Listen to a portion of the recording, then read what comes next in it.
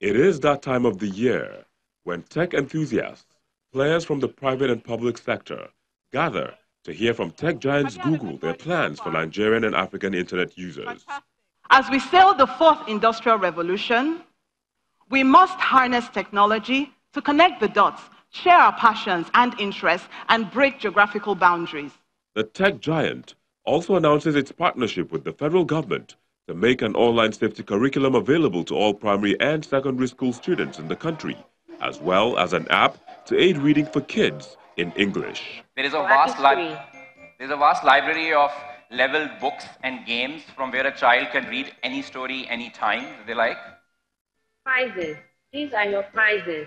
Read more to get new prizes. For the first time in Africa, the instruction voice on Google Go and Maps is localized and tested.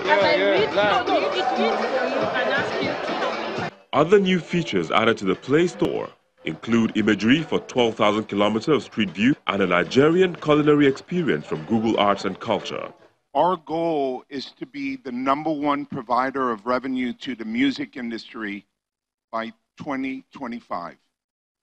We're going to do this in four ways. One, advertising. Two, subscription. Three, direct to consumer. And four, promotion.